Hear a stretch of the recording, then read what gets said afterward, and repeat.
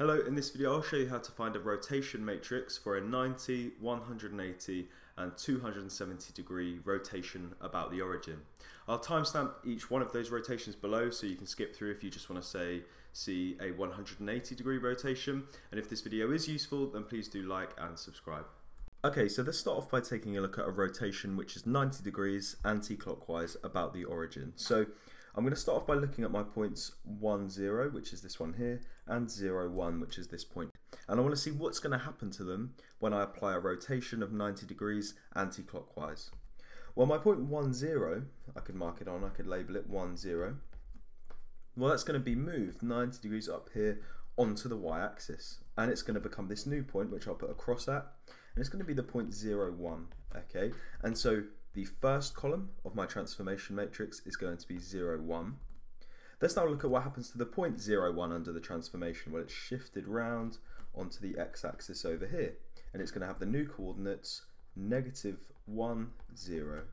And so the column, or the second column of this matrix is going to be negative 1, 0. And this matrix here would represent a rotation 90 degrees anti-clockwise about the origin. Let's now look at a rotation of 180 degrees, okay, about the origin, and we're going to do it the same way. So I've got my point 1, 0 here, and then I've got my point 0, 1. So what's going to happen to the point 1, 0? Well, it's going to re-rotate it all the way around to this side here. So I'll put a cross. And its new coordinates are going to be negative 1, 0. So that, that will become the first column of my transformation matrix. So negative 1, 0. Let's look at what's going to happen to the, uh, the point 0, 1. So again, it's going to be rotated around 180 degrees and it's going to end up over here. So let me put a cross on there and it's going to have the coordinates 0, negative 1.